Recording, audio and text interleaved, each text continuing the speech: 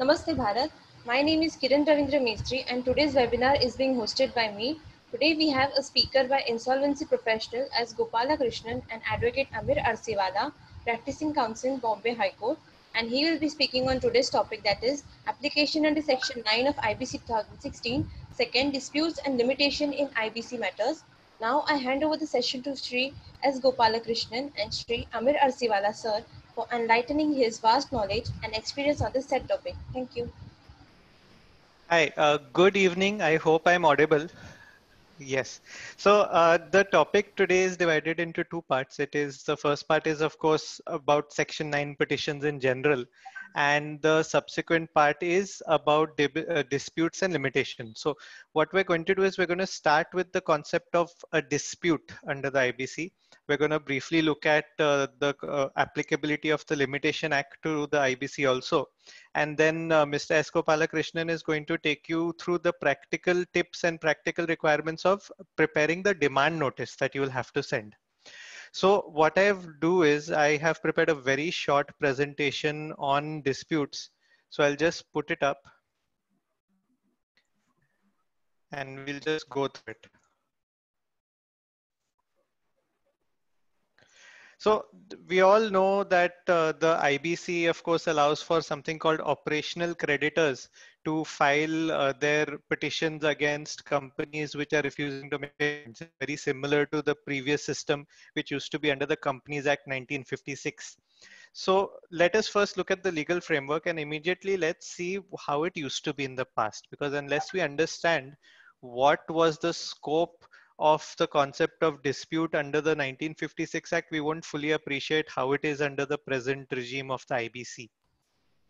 So just like today, operational creditors, which are basically trade creditors or persons who've supplied goods or services, or persons to whom a debt is owed out of those good uh, supply of goods or services, those persons even under the 56 Act, they could initiate a petition for winding up of the company. Now, winding up of the company is essentially liquidation of a company under IBC. So while the IBC gives the another step before liquidation, which is trying to resolve the company, under the 56 Act, it used to directly go for winding up. Trade creditors and even to large, even to that extent, financial creditors under the 56 Act were all lumped together so they could file petition for winding up of the company on the ground that the company is unable to pay its debts. Now this wording is very important and we'll see so when we compare it with IBC. So they said that the company ought to be wound up if it is unable to pay its debts. Now, what does that mean? What is a company that is unable to pay its debts? A company is unable to pay its debts if the company, if you can show that it is unable to pay its debts in accordance with section 434 of the Companies Act. Now 434 of the Companies Act 56, that gave two ways in which you can show that a company is unable to pay its debts. The first way was by sending a legal notice to the registered office of the company by registered post or speed post. And in that legal notice, you say that, listen, uh, you owe me this much amount of money, you haven't been able to pay it. So either pay it within three weeks, and this period of three weeks was specified in section 434. You either pay it within three weeks, or I will have no choice but to go to the High Court, which uh, used to entertain these company petitions. Go to the High Court and say that this is a company that is unable to pay its debts. That was the first way to show that a company is unable to pay its debts under section 434 of the Companies Act 1956. Now, what is the second way? The second way to show that a company is unable to pay its debts under that old uh, legislation of the 1956 Act was to demonstrate using any other material that the company is not in a position to clear out its entire liability. Now, how would you do that? You would show perhaps a balance sheet of the company. You would show that the balance sheet of the company says it has one crore in assets, but five crores in liabilities. So how will it ever be able to pay its debts? So that was uh, the, those were the two ways under the 1956 Act where you could say the company was unable to pay its debts. So of course, like I said, the more common way was to send a demand notice saying, please pay within three weeks. And if you don't pay, then we will go to the High Court. one aspect that was noteworthy under the 1956 Act was that through judicial pronouncements, the all of the, the Supreme Court as well as the High Courts, they said that see the wording used in the legislation is unable to pay its debts. It is a general wording. It is not specific that they are unable to pay one particular invoice or they are unable to pay uh, a particular uh, liability arising towards one person. It is a general phrase the, that the company is unable to pay its debts. So for example, if a matter is filed and it turns out that according to the petitioner, the company owes 5 crores, but according to the company, it comes and says that no, no, according to our internal calculations, we only owe 20 lakhs. Their claim of 5 crores is inflated. So what will the High Court do? In such a scenario, will the High Court admit the petition? The answer under the 1956 Act was yes. In such a scenario, the High Court could very much admit the petition because it would say that you might be disputing their liability. But at the end of the day, you are admitting that there is some liability and you are also admitting that you have not cleared that liability, you have not made that payment. And if you've not made that payment that you admit, then obviously you are unable to pay its debts. That is what the High Courts uh, took the view and that is what the Supreme Court also eventually agreed with then there was a potential that the party would come and say that, see, we have some issues with this particular supplier. Maybe we owe him, maybe we don't. That is a separate issue. But look at our balance sheet. We have 500 crores in our bank account. Can you really say that we are a bankrupt company? The High Courts and eventually the Supreme Court again took the stand that you can have any amount in your bank account. But the very fact that you are not willing to pay this particular petitioner shows that the company is unable to pay its debts. That inability to pay may be willing or it may be by circumstance of being bankrupt. But that is not relevant. What is relevant is that they are unable to pay its debt. So this was the position under the Companies Act 1956. Now let us see how these concepts have been dealt with in the IBC. So first, let's quickly take a look at uh, some of the definitions under the IBC. The first definition is claim. This is a, in uh, section 3. 3 subsection 6 defines claim. Claim definition is divided into two parts. The first part is a right to payment, whether or not such right is reduced to judgment, fixed, disputed, undisputed, legal, equitable, secured, or unsecured. The second part is right to remedy for breach of contract under any law for the time being in force.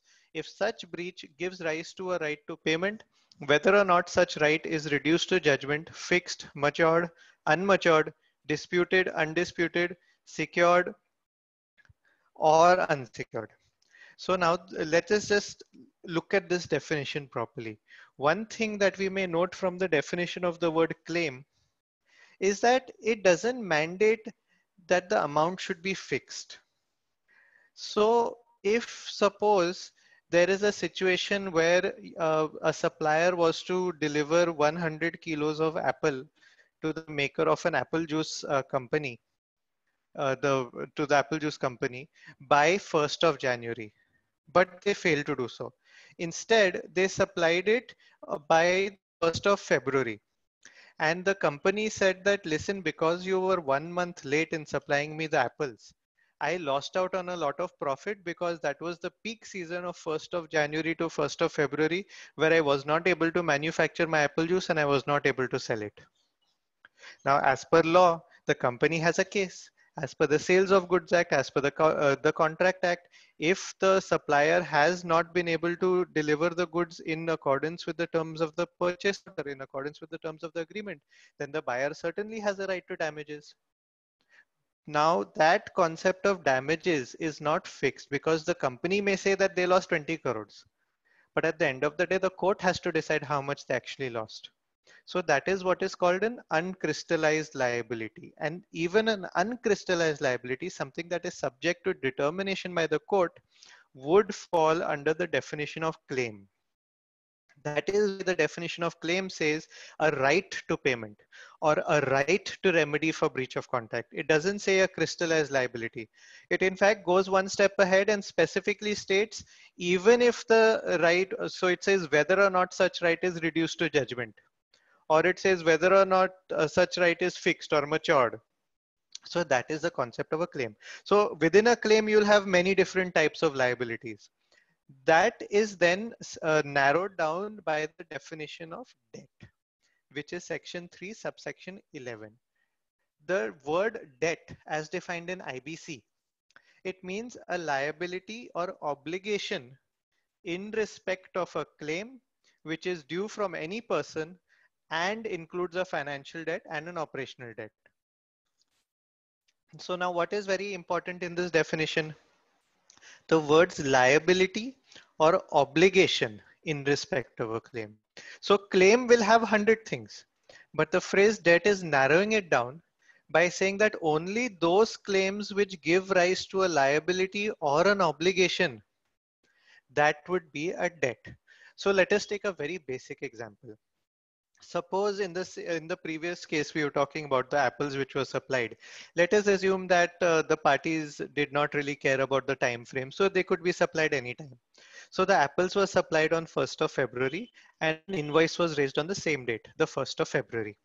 As per the usual business practice the invoice had a payment period of 30 days which means that the company could pay on any day up till the 2nd of March. Is that not correct? That is how usually invoices work. They have a credit period. That is the general way in which we do business. So until that date, when the invoice becomes, when the credit period, sorry, expires of the invoice, the 2nd of March 2020, would it not be correct to say that the supplier still has a claim against the company? The supplier does have a claim against the company because the supplier has given goods to sold some goods to the company and the company has agreed to make payment the only thing is the company says that give me 30 days to make that payment. So the supplier has a claim against that company. It falls under the definition of claim also. There's no debate about that. But is it a debt until that period of 30 days is over, the company is not under a liability or an obligation to pay that amount. The whole point of a credit period is that the company has told the supplier that you you take your time. Uh, sorry, the supplier has told the company that you take your time. We'll give you up to 30 days to pay, which means that the claim has not yet translated into a obligation or a liability because the company has that credit period. So that is the one of the ways in which we can demonstrate the difference between a claim and a debt. Similarly, uh, as we discussed, let us go back to the example of damages. Again, the law is very well settled. There's ONGCs, there's saw pipes, there are multiple judgments The damages at the end of the day have to be ascertained by a court no person can unilaterally say that according to me, I've suffered XYZ amount of damages and therefore you are bound to pay it. The court will always say, no, you can say anything, please prove the damages. So in that, but in that uh, example we gave earlier, until the company which is receiving the apples proves that they've suffered a certain amount of damages due to the uh, due to the breach by the supplier can they possibly say that there is a debt? No. Until that time, they can only say there is a claim. But the day the court passes a judgment and says that, yes, according to us, because of the breach of contract by the supplier, you have suffered damages of 1 crore rupees.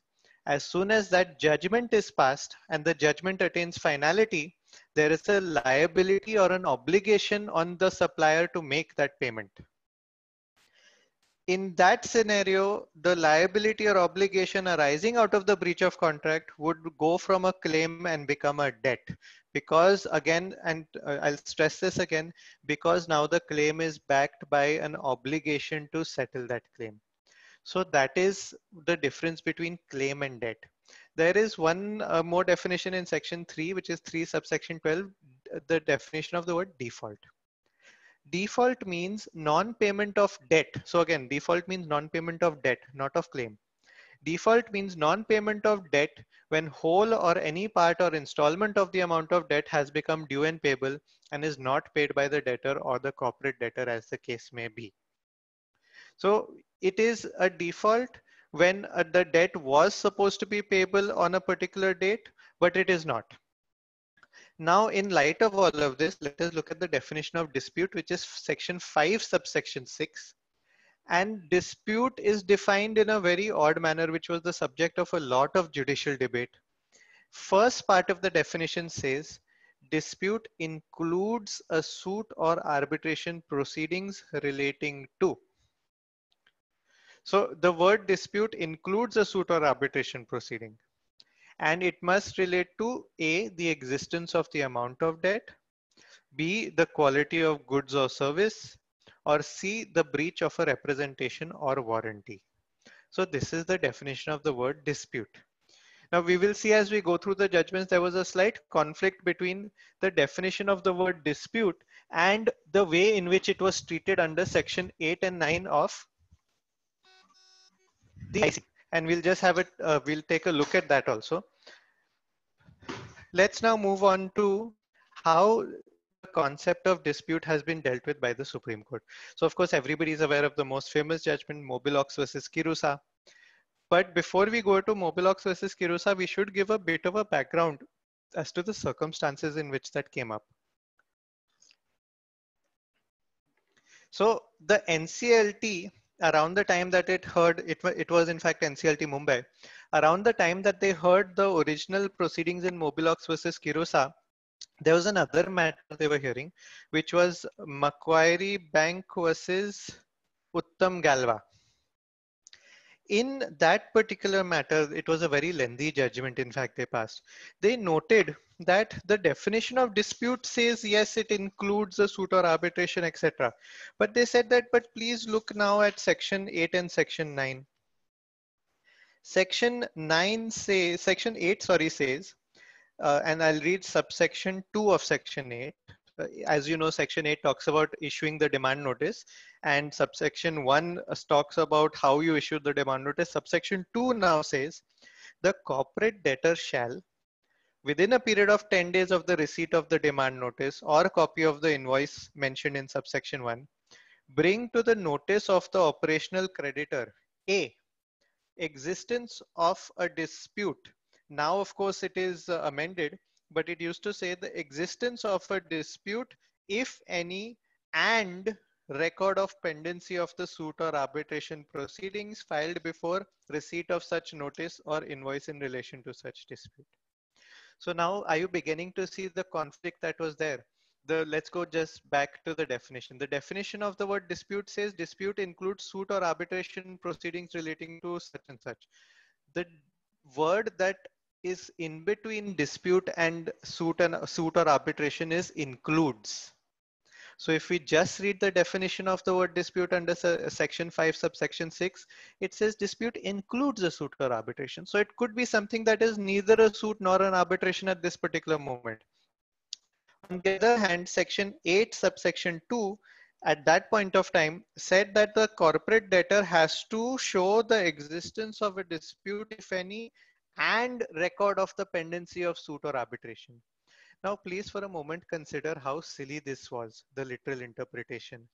And this was the literal interpretation, and this was a problem that everybody knew would come in even before the IBC was enforced. The way that it is worded, it was bound to be a problem. And see the, how silly it is.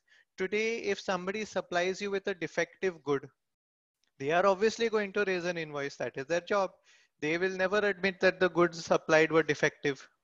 Now they supply you with defective goods. You say that either replace them or we are not paying and you refuse to make payment. You may, may even refund the goods, return them to uh, return the goods to them.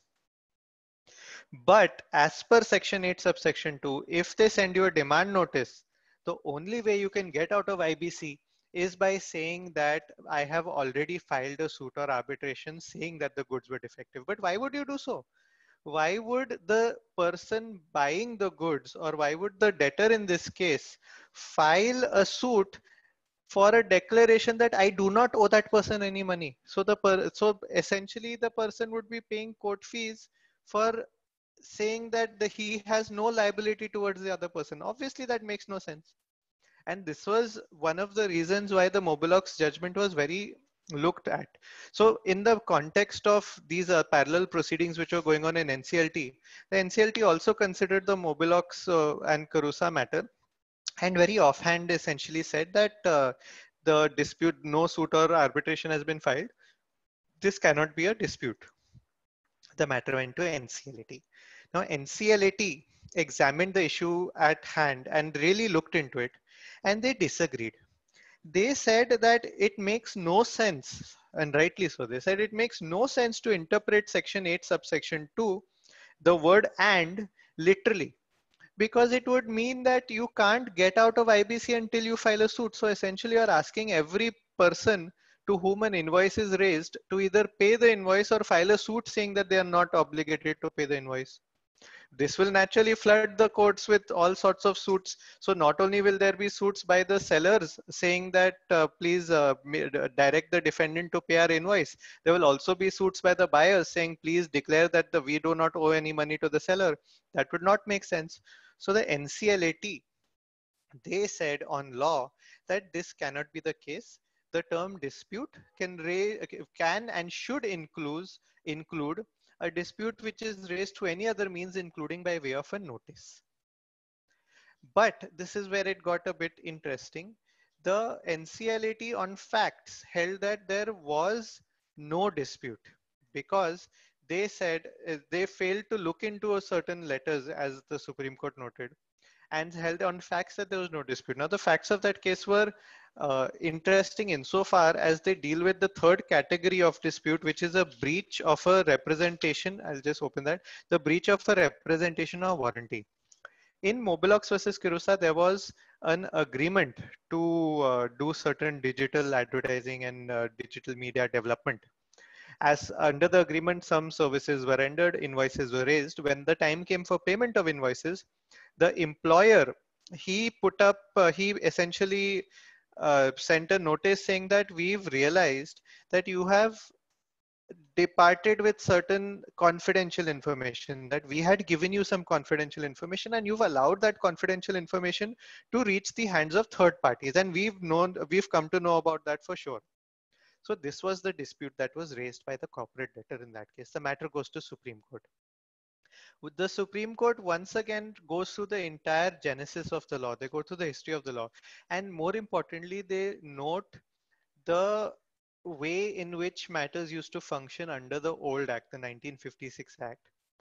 They also note what is the object of the IBC. They note that the object of the IBC is something different. The object of the IBC is not winding up it is resolution of the debt. It is to put a company back on its feet. The Supreme Court also went through the notes of the drafting committee behind the IBC, and it was noted that the IBC was never meant to facilitate quick recovery by an operational creditor. It was the IB, the drafting committee of the IBC at least felt that they want to put adequate safeguards so an operational creditor cannot use the IBC proceedings as an extortionate proceeding, sort of to force a company to pay money that the company may not feel it owes. That was the uh, logic behind the drafting committee of the IBC, which was the logic that Justice Nariman, while deciding Mobilox versus Kirusa, also embraced. So after going through all of these aspects of the law, Justice Nariman eventually held that the term dispute is not limited to a dispute that has culminated in either an arbitration or a suit. It is enough if you send a notice indicating that you there is a dispute in relation to the debt. And it is enough if you satisfy the tribunal, the adjudicating authority as it were, that there is a, a, genuine bona fide dispute raised in relation to the invoices. Now, I should clarify the words genuine and bona fide have also been very watered down by the Supreme Court. In fact, the Supreme Court specifically and expressly says in the judgment that the tribunal is not expected to look into the merits of the dispute raised in any way fact, the tribunal is not even supposed to look into whether the dispute that has been raised by the respondent company is capable of success or is likely to succeed. The company, uh, sorry, the tribunal is only to look at whether the dispute is in the, any way plausible or whether it is mere bluster. So these are the exact words used, mere bluster that is a very loaded term because to say that something is bluster means that on the face of it, it does not seem possible to accept it as truth. Perhaps it could have been more specific, but judges would not be able to understand the effect of uh, expression that they use until there are 10 other judgments failing to interpret it in its true spirit. So that is what the Supreme Court said in Mobilox versus Kirusa. They said that the dispute could not have culminated in suit or arbitration. That is all right. They said that the tribunal is not to look into the merits of the dispute or embark onto a study of whether the dispute is likely to succeed. It doesn't matter. The tribunal could say that, see, the counterclaim that you as the corporate debtor have put up is so silly.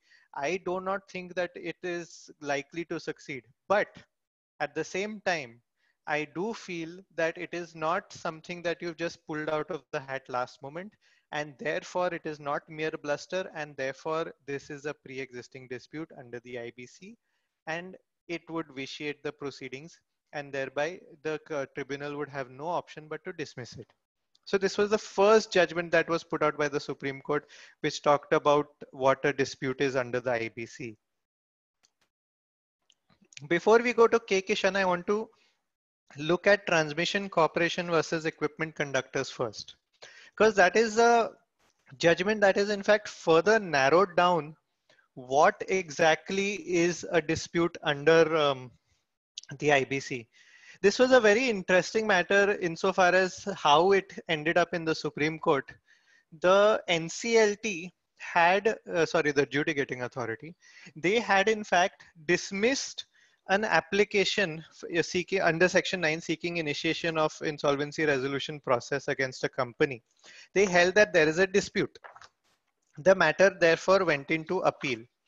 In appeal the nclat while admitting the appeal they said prima facie we also feel that this might be a dispute. Maybe not in that many words but they said that it seems that this might uh, there might be a dispute. So therefore we are not sure, but we will hear the appeal and the objection that was taken was, and I'll just read out that. I'll just, in fact, I'll read the admission order that was passed by NCLAT right from the judgment itself.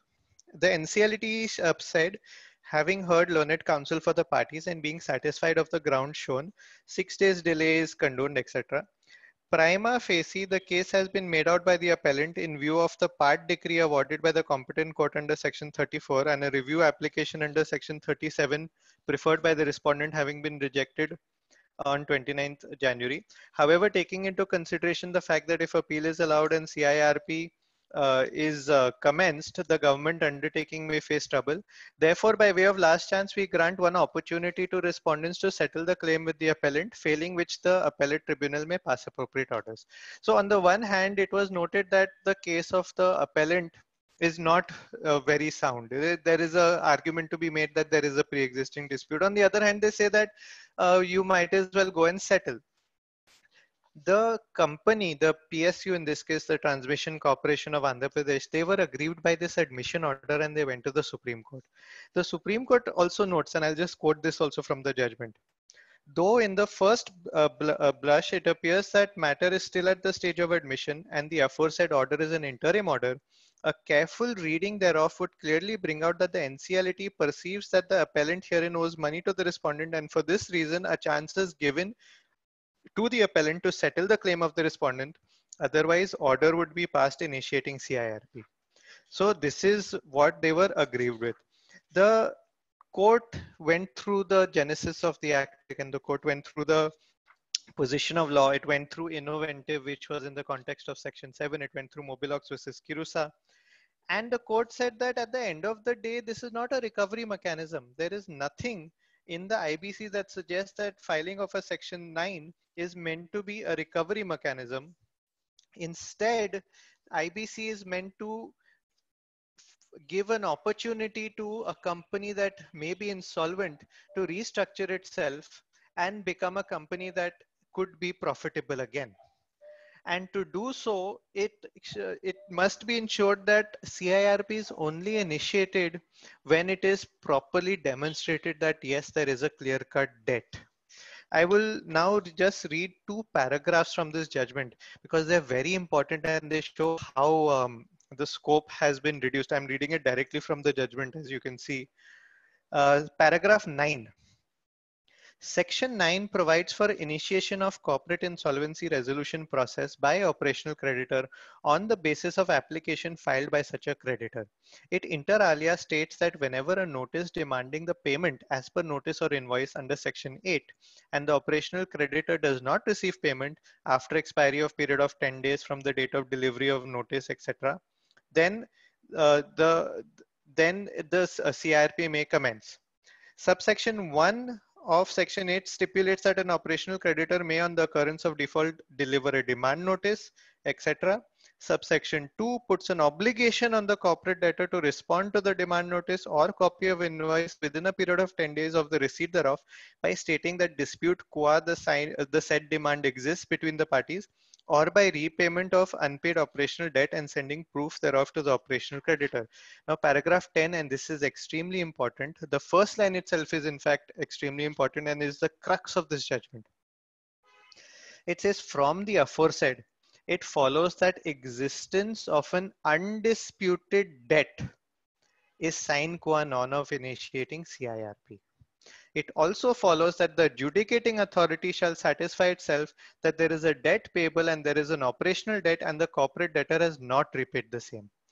So what the Supreme Court said in the case of Transmission Corporation versus Equipment Conductors, it took it a step further from Mobilox. Mobilox versus Kirusa said that the dispute should not be mere bluster and the dispute you do don't go into merits but you make sure that it is uh, not something that is mere bluster etc etc transmission corporation took it a step further and said that forget all of that.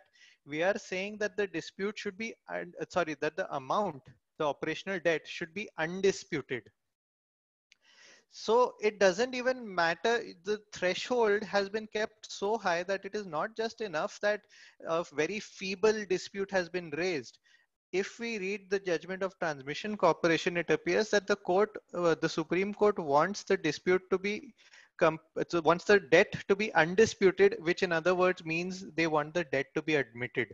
So that is a very high threshold that they put forth in transmission corporation. Now, in light of this, let's look at K. Kishan versus Vijay Nirman Company.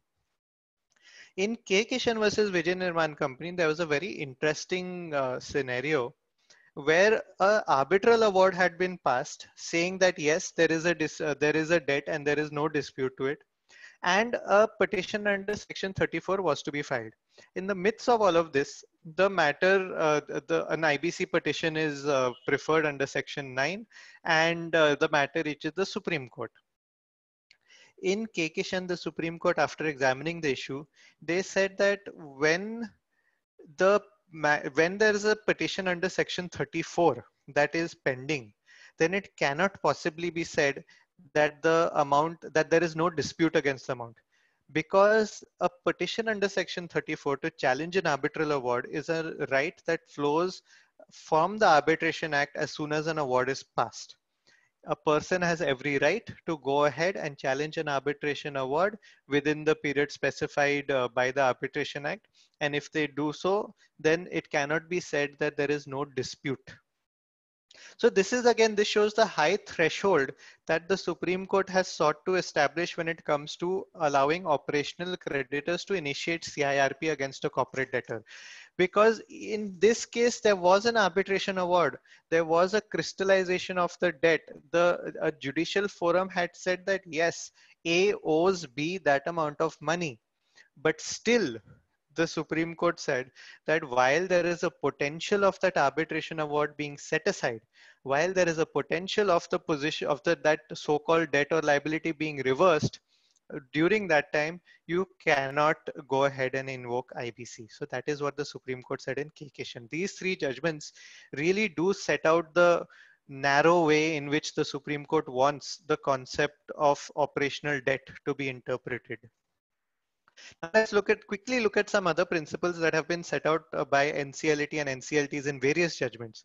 So first is the NCLAT, in fact, in particular, has been very uh, clear that the dispute must be pre-existing. Now, pre-existing is not something that really uh, directly is lifted from the code, but it follows from the way in which Section 9 and Section 8 are worded. So what does pre-existing mean? It means that whatever document you use to show that there was a dispute, that document must have been generated before receiving the demand notice. Is it enough that the company receives the demand notice and immediately shoot off a letter saying that we had made you, we had made 20 phone calls to you saying that the goods are not of sufficient quality. We told you please come to our uh, factory and take back the goods, but you did not. So therefore there is a pre-existing dispute. The NCL 80 has said no because why if the goods were actually defective why wouldn't you have uh, informed the supplier before receiving the demand notice. They said that suppose this basically said that the mandate of section 8 and section 9 shows that the corporate debtor has to reply to the demand notice by saying that there has already been a dispute they can't reply to the demand notice and say that okay now we realize that there is a dispute so we are informing you or we are putting you to notice of that fact so that is the concept of pre-existing dispute. There are judgments upon judgments where they say that a suit which is filed after, in fact, a suit which is filed after the demand notice is received is not enough to say that there is a pre-existing dispute. That is the mandate of the NCL 80. Now, another aspect that they've dealt with NCLAT on, in a couple of judgments and NCLT also in a couple of judgments is what about arbitration? When can you say that uh, pendency of arbitration is a bar to initiating or amounts to a pre-existing dispute. Because as we are aware, the pro process of arbitration need not be very quick insofar as starting the actual arbitral proceedings is concerned. Because by the sometimes you know you send a notice to um, appoint an arbitrator, the other side does not agree with your nomination, it goes to section 11, it's pending in the high court for a few months, perhaps even a few years, then finally an arbitrator is appointed. But until an arbitrator is appointed, colloquially, we don't really say that arbitration has commenced. That uh, colloquially, again, we'll just get to the law in a moment. So then can you really say just because you've sent a notice saying that according to me there is a problem, so I'm invoking the arbitration clause, can you really then say that this is enough for a pre-existing dispute? Now the NCLAT and very correctly has said that yes, that is enough. And why is that enough? Because there is a difference between filing a suit and initiating arbitration. A suit is filed by simply preparing the plaint, taking it to the registry of the court where you're filing it, presenting it to the concerned officer and waiting for him to put his stamp on it. That is how a suit is filed. But an arbitration is not initiated like that. First step, you have to appoint an arbitrator to appoint an arbitrator, you have to send a notice. And there is a deeming fiction under the Arbitration Act saying that arbitral proceedings shall be deemed to have been commenced in sec that's this is section 21 of Arbitration Act, saying that arbitral proceedings are deemed to have commenced when a notice invoking the arbitration is received by the other side. So the NCLAT has said that if you can show that the corporate debtor has invoked arbitration prior to receipt of demand notice, then that is also a pre-existing dispute. Now, it is not the corporate debtor's fault that no further action has been taken, that no arbitrator has been appointed in time. So that is what the NCLAT has said about uh, the, when an arbitration is deemed to be a pre-existing dispute. Now, another aspect is suppose a suit is filed between the parties, but the scope of that suit is completely different. So party A and B are engaged in litigation uh, before the NCLT under IBC because A says that B has failed to, uh, to repay 10 invoices. In the meanwhile, there is another suit pending in another uh, civil court between the same parties, but that relates to some property issue that is unconnected to the invoices. There are some judgments of NCLTs, including Mumbai NCLT, where they just offhand they say that no, a suit is pending between the parties. This is a pre-existing dispute. Please uh, treat this section 9 as being dismissed. The NCLAT has said nothing doing. There is a judgment overseas infra alliance versus K. Bawat. A judgment I'm very familiar with, in which the NCLAT has actually gone into the suit and held that the suit is for something completely different. It is for another agreement, whereas the IBC proceedings are for a different agreement. Their invoices, uh, they relate to invoices that were raised under some uh, separate transaction. And the NCLAT said that this cannot amount to a pre-existing dispute because the dispute, and let's just quickly go back to the definition of the word dispute. The definition of the word dispute has three heads. the existence of the amount of debt, the quality of the goods or services, or the breach of a representation or warranty.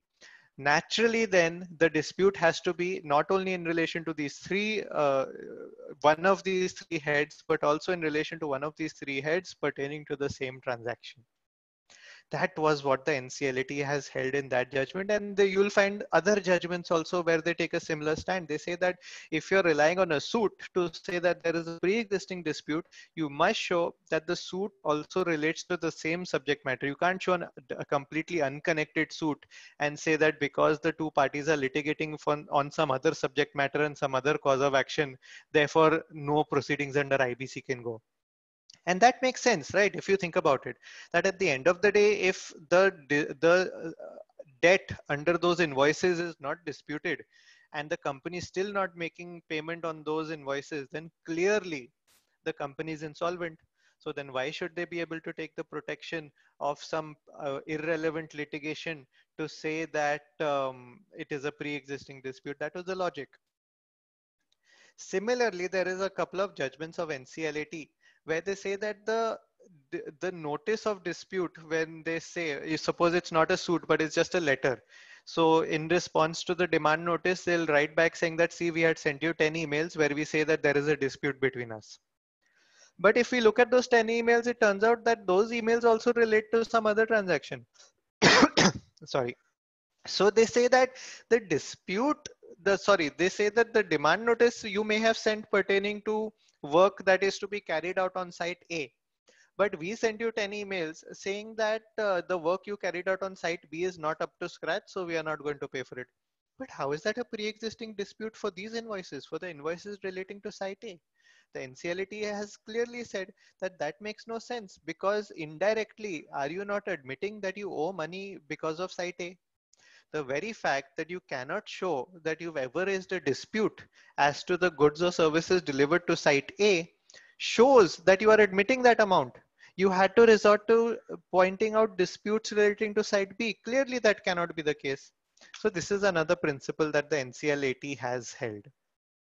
I'll quickly just touch upon uh, another aspect, something that the Supreme Court is currently seized of, is what about money that flows in the opposite direction or the or liability that flows in the opposite direction?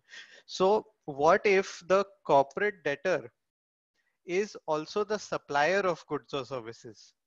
There is a contract entered into between a and b where A says that B will give me, suppose the B will uh, deliver to me after a month those same 100 kilos of apples. And because B is promising to deliver the 100 kilo apples, I am going to give an advance of uh, 20,000 rupees. But for whatever reason, B fails to deliver the apples. And B also says, but I'm not going to return the 20,000 rupees would that be uh, would that be an operational debt the refund of the security deposit or the refund of the advance amount? Again that judgment of overseas infra alliance says that it would be an operational debt and i personally agree with that view because the definition of the phrase operational debt says a debt arising out of the delivery of goods or services. It does not say that a debt resulting from the delivery of goods or service, or it does not say that the delivery of goods or service is the only way that an operational debt can be raised. So that is just something you may want to consider. Uh, now I'll quickly, because I think we're beginning to run out of time, I will quickly talk about the aspect of limitation. Limitation has had a very uh, long and tricky history when it comes to IBC. Uh, there was an initial viewpoint that the Limitation Act doesn't apply to IBC at all. Then after it was clarified that yes, the Limitation Act would have to apply to IBC through sheer logic.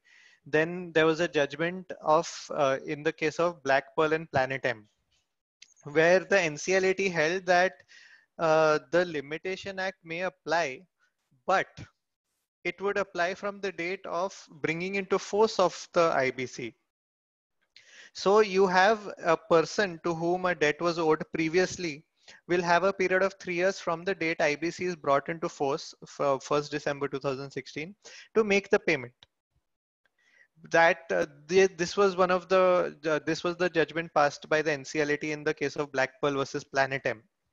The Supreme Court finally addressed this in the case of BK Education, where they said that obviously the Limitation Act applies to IBC. And in the meanwhile, in fact, an amendment was also introduced to the IBC to clarify that yes, the Limitation Act applies. But the Supreme Court also went ahead and said that not only does the Limitation Act apply, it does not, the IBC is not meant to revive a stale debt. So the Limitation Act applies, but at the same time, the petition under IBC needs to be filed within the period of limitation from the date the debt arose. From three years that the debt arose, the limitation, uh, start, the, the petition under IBC has to be filed. Of course, this was what the Supreme Court said in BK Education. Uh, thereafter, there was another question that the NCLTs were presented with that wouldn't it be 12 years? Because a secured creditor has a period of 12 years to uh, to exercise that security. Under the limitation act the schedule to the limitation act says that a secured creditor can choose to exercise a mortgage within a, a, a period of 12 years. This uh, was answered by the supreme court in the case of uh, uh, Hargovind Dave versus ARCIL, where they said, and rightly so, that that cannot be. Because why would you look at the Limitation Act and the entry in the schedule to the Limitation Act, which relates to enforcement of a mortgage? And why would you look at that when you're determining what would be the limitation period for initiating proceedings under IBC? It makes no sense, right? And if we uh, think about it also, it just makes absolutely no sense that we equate initiation of corporate insolvency resolution process, which is its own remedy under the IBC, and we equate that with enforcing a mortgage, which essentially means asking the court to take over the property, appoint a commissioner, sell the property, and thereafter recover the proceeds. The two cannot be equated. So in the, uh, the case of Hargovind Dave and a series of judgments that followed, the Supreme Court very clearly said that no, it has to be three years. Then the Supreme Court went one step further and said that you also can't take the concept of continuing cause of action. It can't be that every time the uh, company fails to make payment, for example, in a loan, every time the company fails to pay an EMI, it cannot be that uh, that each failure results in a fresh cause of action. And the logic behind that can be in fact simply be found in the definition of the word default which we looked at earlier. The word default is clearly defined to mean the failure to pay any installment. And it's a cardinal rule of limitation that limitation once it begins to run it cannot be paused except in the way set out in the limitation act. So what that would mean is that if the one installment is failed to fail to be paid then that is where the limitation period of three years starts. And the uh, bank cannot then come and say that okay but then just two and a half years ago they again failed to make a payment of an installment. But then that makes no sense. The bank will obviously keep on uh, expecting the emi every month from now until the amount is fully paid. It does not change the fact that the limitation period which uh, should have began the first time the failure was made continue uh, uh, uh, ran continuously and then ended. And I'll just end this on a simple, really a jurisprudential point that this, all of this makes perfect sense when you understand what is the basis of limitation. Why is it that the legislature, not just in India, but around the world, has sought to limit the ability of a person to file a suit there are some practical reasons. It is one of the practical reason is that you don't want somebody to file a suit after it cannot be reasonably expected the people to continue to have evidence to support their side of the suit either plaintiff or defendant. So that is just not fair. But also there is a public policy angle to it that the legislature wants to discourage somebody from just sitting on their remedies indefinitely. Remember civil law is not like criminal law. It is not about punishing somebody who's breached a contract. Civil law is about putting parties on a footing that they would have been had the civil wrong not been committed.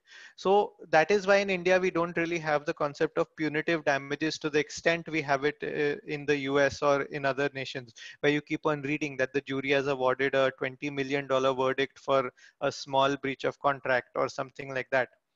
Because at the end of the day, in India, at least, the courts will only uh, try to make sure that both the parties are put in the same position. And if that is the case, if we're not out to punish a civil wrong, then there really is no point to allowing a plaintiff to file even after a period of maybe 10 years, 15 years. So limitation is not to protect an ill doer. Limitation is not to protect a defaulter saying that uh, because you've committed a uh, committed a default, but because it was more than three years ago, we're protecting you from IBC. Rather, limitation is to punish the person who's sitting on the rights and is not proceeding or is not prosecuting them. So once you understand that concept, it also makes perfect sense why uh, the, the, default can't be renewed every now and then. Why is it that the first time the default occurs, the limitation period runs, and why the Supreme Court said that you have to take the first default and three years from that is when you no longer have the right to initiate IBC. So I hope that because I try to be as quick as possible, but I hope that addressed the issues somewhat satisfactorily of uh, dispute and of limitation. And there are a, a, bunch of questions, but I'll first ask uh, Mr. Gopalakrishnan to quickly take us through the concept of a demand notice because uh, that is his scope of the presentation today. And then we'll try to go through the questions as quickly as possible. Thank you, Bilbay. Uh, you have made a very lucid uh, presentation. And uh, I'm going to take only the practical aspects uh, of uh, preparation of notice. So with regard to notice, there are, there are two formats prescribed, Form 3 and Form 4 that's a judgment uh, where form 3 is to be used where, uh, in case where there, there is no invoice involved, like employee for salary purpose. Whereas the suppliers and others, they would always raise an invoice. So uh, they should use uh, form 4. That's a uh, judgment. I'll let me share the judgment here. It's a very recent judgment. One.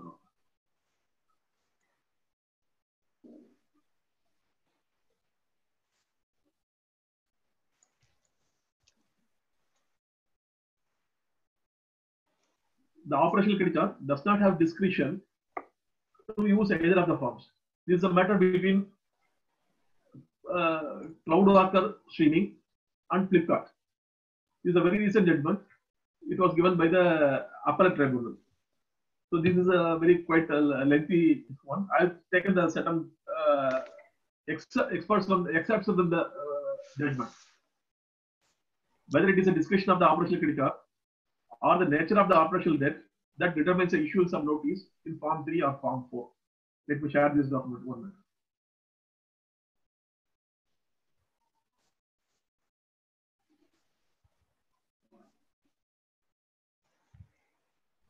So uh, the, there are three issues uh, attended by the addressed by the NCLAT. Whether or not copy of the invoice is mandatory requirement for the issuance of demand notice whether or not for filing an application under section 9 of the code in form 5 the submission of a copy of the invoice is a mandatory requirement although demand notice is served in form 3 without invoice. So there is a uh, there are the paragraph 44 says deliver a demand notice of unpaid operational debt or copy of an invoice demanding payment in section 8 does not provide the operational creditor with the discretion to send the demand notice either in form 3 or form 4 as per his convenience. No. Rather, it depends directly on the nature of the operational debt and applicability of form, form 3 or form 4 as per the nature of the transaction. So the, here they are saying the uh, judgment. For example, if an operational debt is in the nature of salary dues, then in that situation, the question of submitting an invoice does not arise. To deal with such a situation, Section 8 contains provision for issuance of the demand notice of the unpaid operational debt. Form 3 of the adjudicating authority rules has laid down, laid down only the condition that the applicant has to give the details of the amount of debt, details of the transaction. And as per column 7 of the said form 3, applicant has to attach the documents. So this is where there is no invoice involved. Whereas form 4 is to be invariably accompanied by invoices. And where the nature of transaction is such that invoices have been raised, then the operational creditor has to necessarily issue notice in the uh, form uh, 4 only. So uh, let me share that that judgment of the NCLT here. One.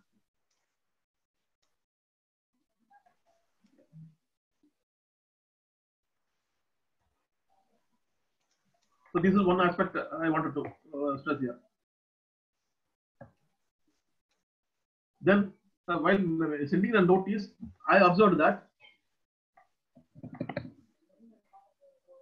interest calculation is not done properly. Let me switch the screen. Split screen.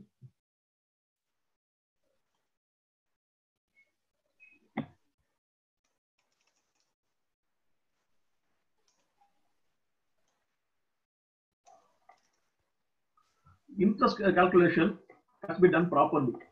And as for IBC, it's only simple interest is to be claimed. And interest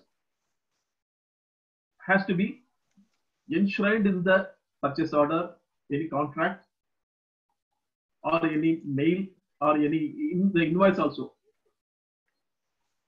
Whether uh, whether the interest is payable or not. If there is no record of uh, any payment of interest, then interest cannot be claimed only it cannot be admitted. This is one uh, fact which has been um, upheld by many in many judgments of the NCLT.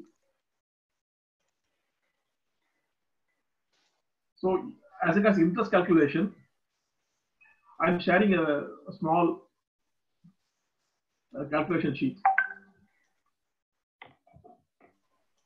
This is Excel sheet. Is, is a sheet visible? X, Y, Z versus ABC. What my screen is slightly stuck up.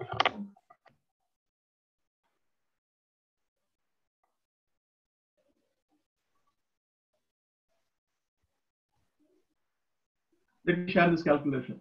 So invoice number, invoice date, due date, 30 days credit is mentioned in the invoice. So invoice amount and today's date, 9th, interest payable till yesterday. Today, uh, you today cannot claim. If you uh, calculate interest, you have to calculate till yesterday. So the current date is 9th June. Delay is 3,944 and interest at 24%. 24% is as mentioned in the invoice.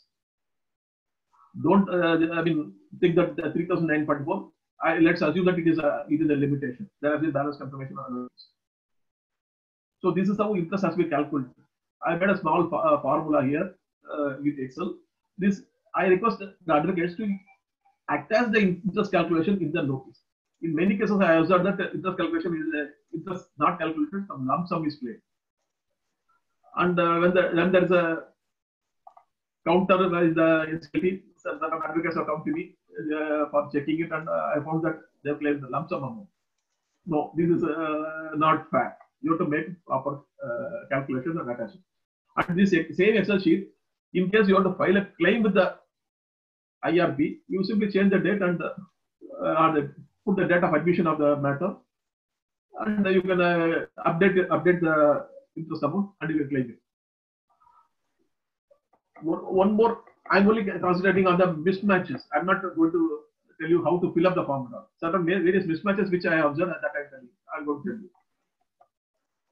The uh, interest and claim amount, whatever is mentioned in the notice, same should come in the petition otherwise uh, it leads to litigation and correction, file, uh, filing of a, fresh uh, affidavit and all. So please take care that the interest amount and the principal claimed in the notice is the same in the petition also. And already uh, Amir Bhai said claim for damages cannot be uh, put in the petition. It has to be adjudicated upon separately. That was one of my points even I had noted. And with every uh, notice as well as a petition, please attach ledger copy of the uh, parties in the, the, the, books. If I'm an operational creditor, I'll have a ledger copy of the corporate data. The corporate data complete ledger statement is to be attached. It is an, uh, occasionally not found.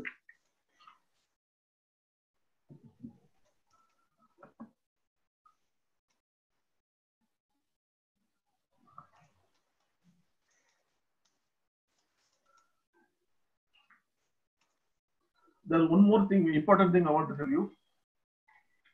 There was one, uh, there is one who used to appear in the NCLT. I'm just sharing his uh, style of working. When he takes up any matter, he immediately checks the form 26 AS. He logs into the uh, company's uh, corporate debtors, uh, sorry, uh, operational creditors uh, income tax uh, login. He downloads the form 26 AS and he checks whether the invoices which uh, the operational creditor is demanding payment, whether they are booked in booked and TDS is different. Normally, the companies they book the expenses, but they don't pay it. That's how they operate. They were in order to show lesser profit or uh, something, they book the uh, invoices, but they don't pay it. So when the invoices are booked, TDS is paid, and TDS is reflected in the operational creditors account, and uh, that the TDS remittance comes invoice wise. So we can easily match the invoice amount and the TDS amount, and this becomes proof of admission of the debt. There is no further argument, no further dispute can be raised on this. So I request the advocates to check the Form 26 AS before sending the notice only, and match the invoices. And if the invoices where TDS is deducted, if the amount of those invoices add up to the threshold limit, straight away the matter will be admitted. And the usual notice, you file a petition, and and it is bound to be admitted. That particular charter account has got admitted many cases like this. And he used to say, look, Gopal, advocates don't understand account. I'm sorry, I couldn't say that. So uh, I request the advocates to pay some attention to this aspect. You please check the form 26 of the operation creditor.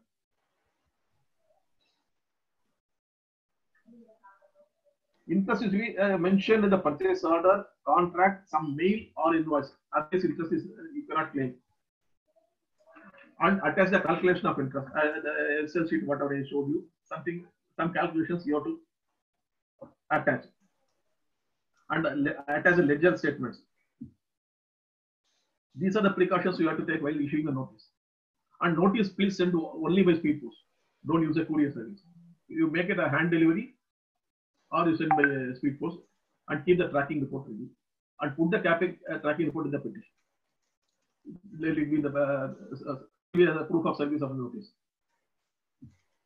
And uh, so, okay, you issued notice, there is a no response and the uh, petition is filed. Let's come to form 5. Amount in the notice and amount mentioned in the form 5 petition should be the same. Do not update the interest. Maybe you would have issued notice two months back today you are filing the petition. So you don't update the interest uh, the date of filing the. You keep the same amount you have what you mentioned in. So please, you can update at time of filing claim with the IRP. So keep the uh, amount intact till the matter is admitted. In the form 5, there is, I'll share the form 5. There's one point. Uh, two, three advocates uh, asked me, what is this? Let me share that uh, one. Form 5, there's uh, item 6.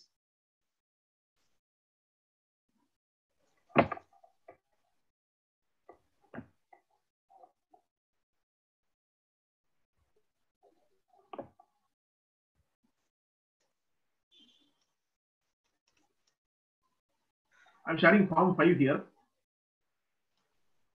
That is a petition, application by the creditor to initiate uh, CIRP. There is item 6.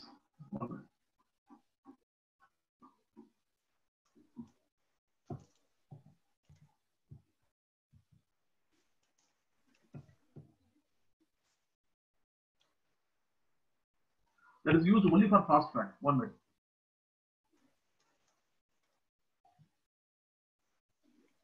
Item 8, sorry, I'm sorry, this is item 8. Uh, this is applicable only in case of fast track insolvency process. So for normal applications, this is not required, just say it is not applicable. This is this many advocates uh, used to ask me this.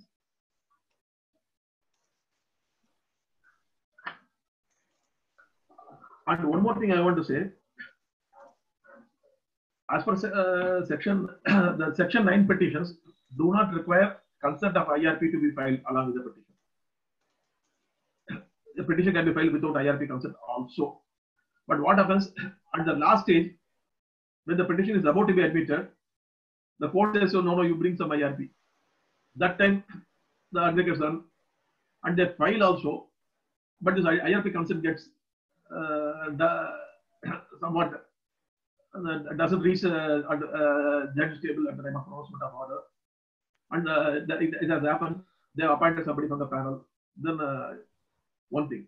Second thing, in one of the matters, the petition was filed along with the IRP's consent. Later on, during the hearing, that the proposed IRP, he withdrew. Another IRP's petition as consent was filed. The order came in the name of the previous uh, insolvency professional.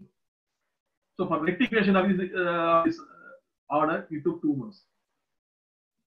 So my suggestion is that you, uh, to the advocates, to please file the petition along with the insolvency professional's consent only to avoid hassles at the later stage.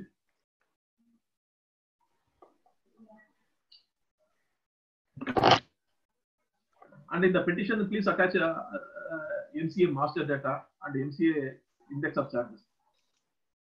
These, uh, these are the somewhat mismatches and the rectifications required by the registry. We can avoid many queries if we attach these uh, documents here. And okay, you filed the uh, petition, you argued, the matter got admitted. Then the public announcement, IRP is appointed, the public announcement comes. So when the public announcement comes, check the dates. Your client, you initiated, and uh, check the dates in the public announcement, date of order, uh, whether public announcement has come within three days of the receipt of the order by the IRP, whether there is any delay, whether it has been reported to the IBBI, whether the public announcement appears in the IBBI website. You have to check that. And whether he has given 40 days properly uh, for uh, some claim submission.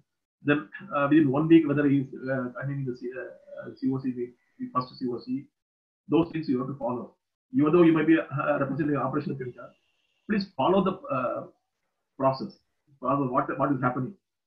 And the uh, list of claims should be updated and put in the company's website, corporate data website. So keep checking the corporate data website often. And uh, who are all claims are admitted, how many financial creditors, how many employees, how many operator creditors. You would have some idea where the matter is going. You may not be able to, you may not be able to ask for claim details of others. But you can, claim list will be available in the company's website. In one big company, uh, one client asked me, sir, I want to see the claim list. I searched, searched, and searched. I couldn't find the company's website contained many URLs here and there. Then I found the IRP. Sir, where, where have you displayed it? He said, then he, he has put it, hidden it in the tenders link, tenders and the uh, contracts. There he has put it. The IBC says, you put it in the website now. So we has hidden it under tenders. Then uh, there I located the particular uh, claim and the claim was drastically cut. Then we corresponded what was, what was the reason for reducing the claim. Those things we have to follow. And till resolution plan is uh, submitted, keep following. And one important thing I want to tell here, when you submit a claim to the IRP or RP, there is no necessity to uh, put on a stamp paper and uh, affidavit notary. It is not necessary. It has been dispensed with from uh, I think February 19 onwards, more than one year onwards. In the initial stages of IBC, it was there. You to, you are, you are compelled to notarize it and put on stamp paper and. IRP and RP claim you don't need to notarize. But when you put a claim to the liquidator, please notarize on a stamp paper, put on a stamp paper and notarize. In the claim to the IRP and RP, you only affirm that uh, uh, the affirmation by the uh, claimant and advocate cannot claim. The claim form has to be uh, fill, uh, signed, filled, I mean, signed by the opportunity only. You simply uh, confirm that all the facts are above, above you are correct. No need to notarize. So, uh, two three days are lost in uh, getting the stamp paper, notarizing it. Two three days are lost. This practical aspects, uh, please note.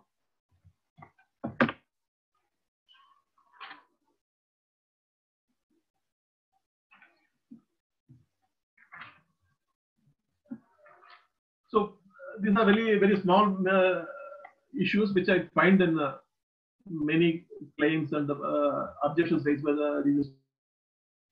So very very small things only I, I had in my mind today. I uh, leave the matter. I mean, I request Ad- Advocate uh, Amir Artiwala to answer the specific queries regarding uh, limitations. of.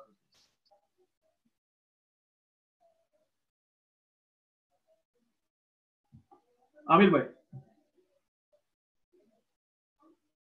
I think Amir bhai is left.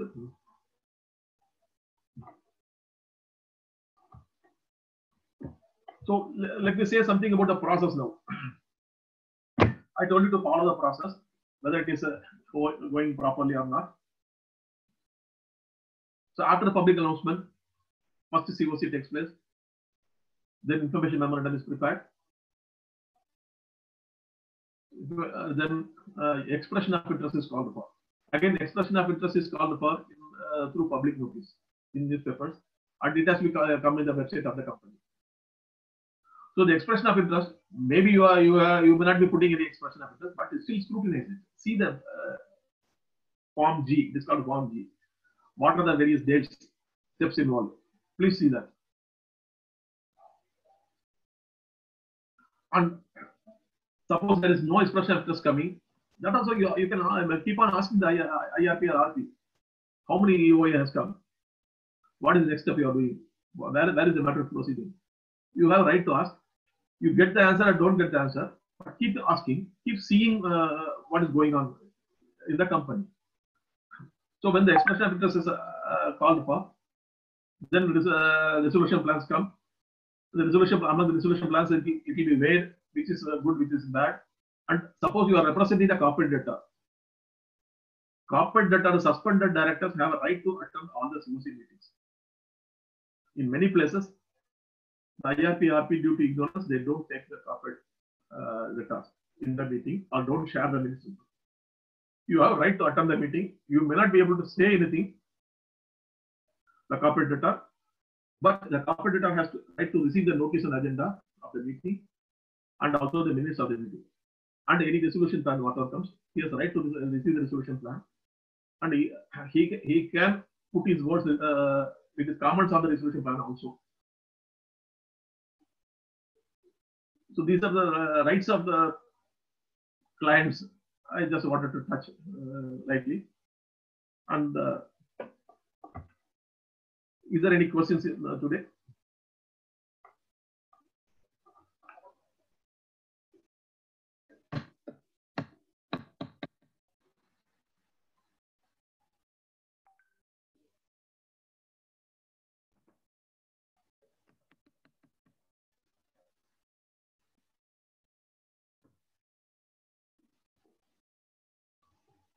I think I got stuck on the computer. Am I audible? Yes, sir. Yeah, yeah. Can, can somebody read the questions? I'm not able to. Is there any question?